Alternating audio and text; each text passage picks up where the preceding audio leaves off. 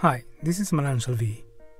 In this episode, I'll show you how to create this selective reversing effect in LumaFusion.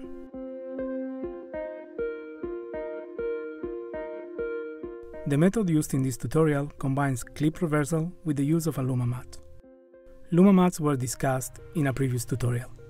You should be seeing a link to that episode right now. With that said, there's no need to watch it right away. I will still cover and explain all the steps in this episode. This is the effect that you'll be creating for this tutorial.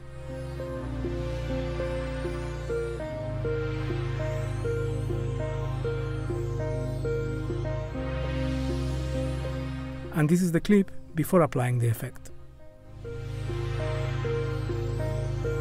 The secret behind this method is in the criteria used to choose the video for the effect. First, the camera must remain still for the duration of the clip. As you'll see shortly, the clip will be divided into areas that will be reversed and areas that will remain as they are. Those separated areas need to remain in the same place throughout the entirety of the video. If you're filming your own footage, use a tripod or place your camera on a surface that will remain still while you're capturing the video. Secondly, make sure that the separated areas of the video that you plan to use can be isolated. Look for overlaps. Videos where the same object appears in one area of the video and later on a different area are not good candidates for this effect. For example, in this video, notice how cars go in and out of the selected area when one lane is selected. However, look what happens when using the same video, these two lanes are selected together. Notice how the cars are now contained in the selected area. This is how the video looks after the effect is applied.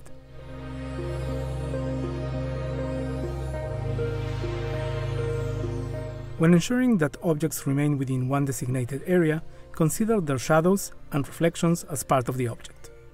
For example, take a look at this video. Notice how the cars in the lane closer to the camera are reflected in the traffic sign. When defining the different areas in the video, the closer lane and the traffic sign should be in the same area. This is how the video looks after the effect is applied.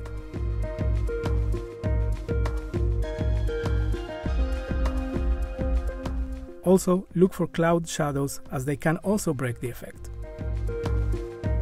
If a cloud shadow is cast across separated areas, consider it as an overlap and look for another video. Keep these principles in mind when looking for a video to use with this effect.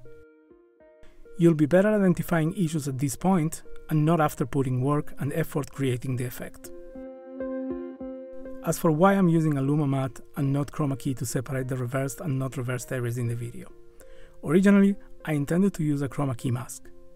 The video that I'm using for this tutorial contains shades of green, so I encountered issues using the green screen key.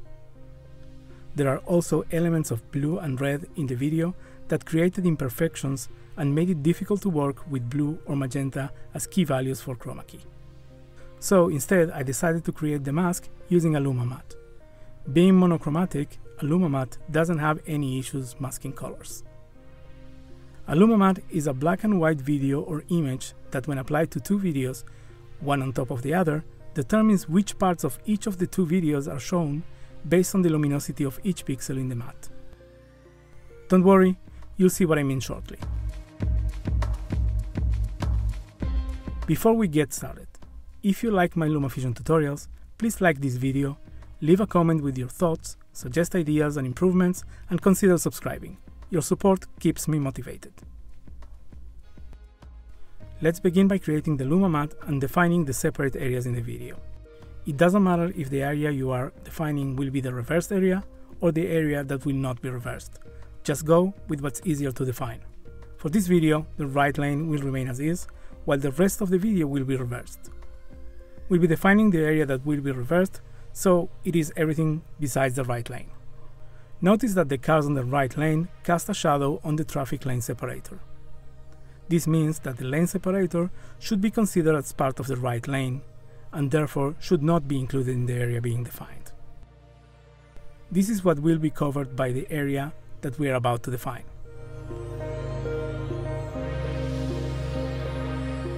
We start in LumaFusion with two copies of the video that we are using for this tutorial already placed in the timeline. Add a title above the first video in the timeline. Expand it so it covers the whole duration of the video below it. This title will be used as the Luma matte. Edit title.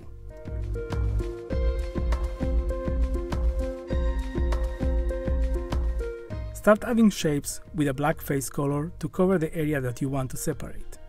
In this case, it will be everything except the right lane.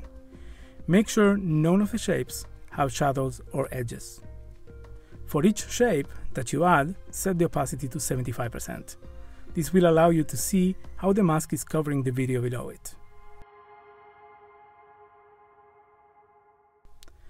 As you're building the mask, Play your video multiple times to ensure that the mask completely covers the area that you want covered and that there are no overlaps that you may have missed when you chose the video.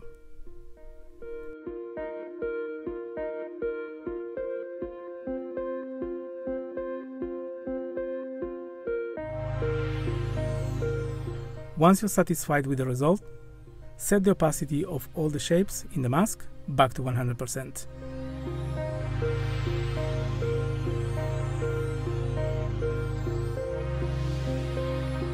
Now add a final white rectangle to the title and increase its size so it covers all the screen.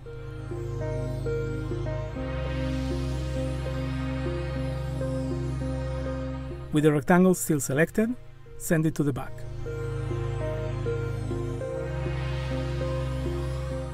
Next, tap on the Frame and Fit tab. Expand the blending section and select the Silhouette Luma blend mode.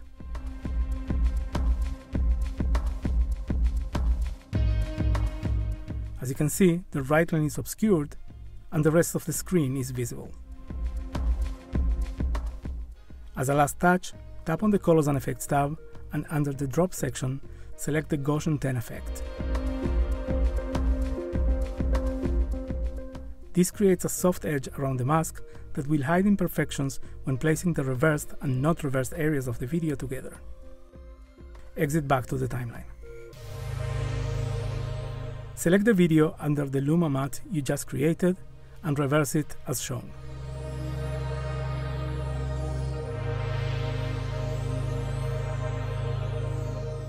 This process may take a few seconds or more if this is the first time you are reversing the video.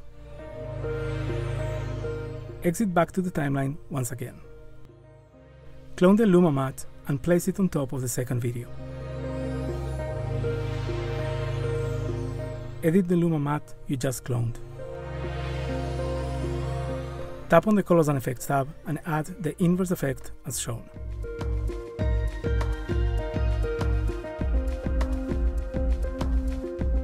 As you can see, the right lane is visible and the rest of the screen is obscured. Exit back to the timeline.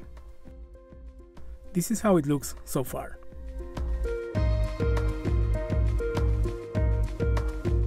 Notice how the two Luma mattes are mutually exclusive, but with a small overlap caused by the Gaussian effect.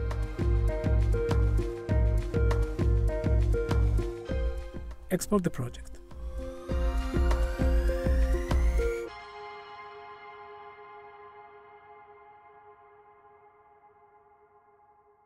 Now create a new LumaFusion project and add the video you just exported. Make a cut right in the middle of the video.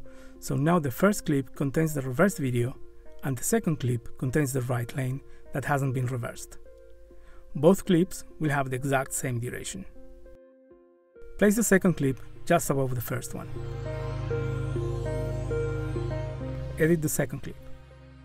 Tap on the Frame and Fit tab. Expand the blending section and select the Linear Dodge Blend mode. exit back to the timeline. And we are done. Here's the end result.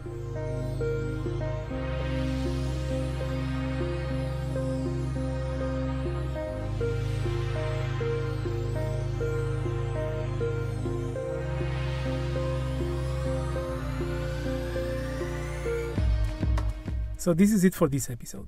If you like this video, please consider subscribing to this channel, give it a like, and click on the bell so you're notified when I post new videos. Thank you for watching, stay safe, and I'll see you on the next one.